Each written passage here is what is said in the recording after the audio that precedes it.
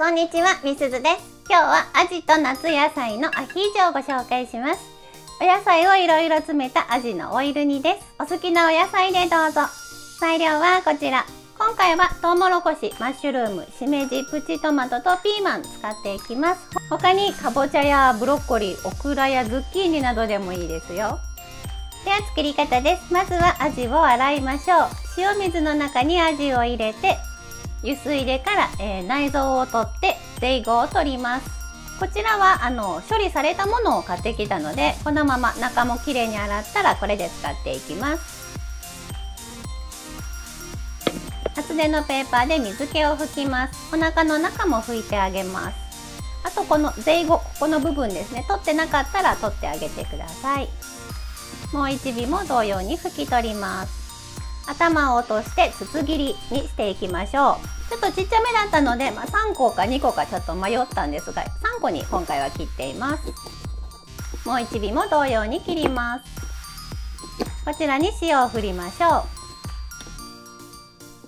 う。ペーパーか網の上にお魚を移動して両面にお塩を振ります。塩を振ったらしばらく置くと水が出てくるので水気を拭き取って使用していきます。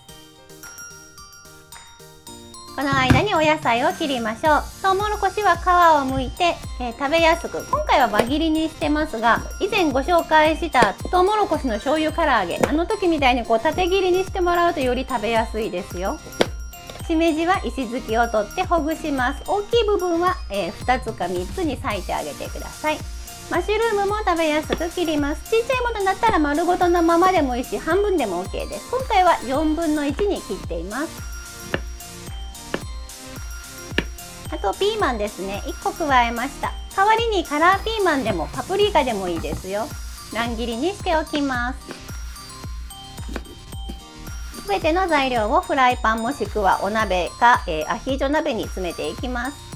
先ほど塩を振った味水分が出ているのでペーパーで拭きながら詰めていってあげてください。ローリエと鷹の爪からニンニク、えー、芯を取って潰したものです。と先ほど切ったトウモロコシマッシュルーム。としめじも加えます。フライパンに魚が張り付くかもしれないのでしめじをお魚の下にかませてます。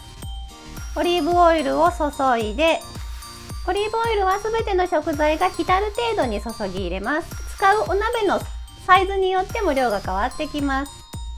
お塩はちょっときつめに加えます。蓋をして弱火にかけましょう。15分ほどかけます。アジのサイズによっても調節してあげてください。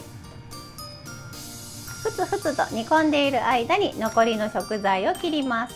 プチトマトはヘタを取って準備します。ピーマンも加熱しすぎると色が悪くなるので後から加えます。あとアボカドですね。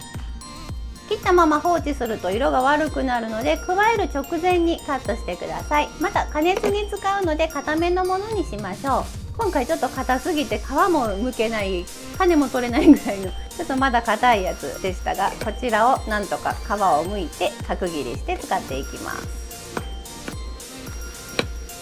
先ほどのフライパンに戻ります。15分経ったところで蓋を開けて一旦アジを裏返します。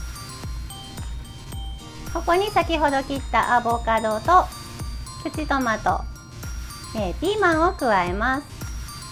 蓋をせずにあと5分ほど煮込んでアボカドピーマントマトに火を通しましょう。またブロッコリーを加える場合はさっと下茹でしてからこのタイミングで一緒に加えてあげてください。器に盛りましょう。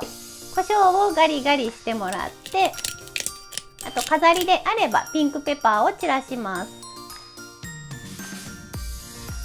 パセリのみじん切りを散らしてこれで完成です。お野菜たっぷりでいただくアジのアヒージョ。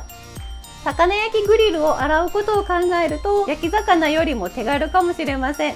お鍋に詰めてお好きなお野菜とともに召し上がってください。またオイルとお塩がアジの中まで馴染むのに時間がかかるので出来たてすぐの熱々も美味しいけども翌日までちょっと置いて寝かせてもらうのもまた美味しいですよ。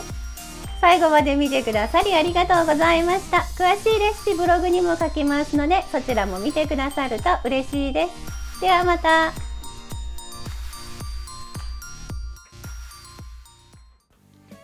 作ってみたいと思ったらぜひチャンネル登録と高評価をお願いします。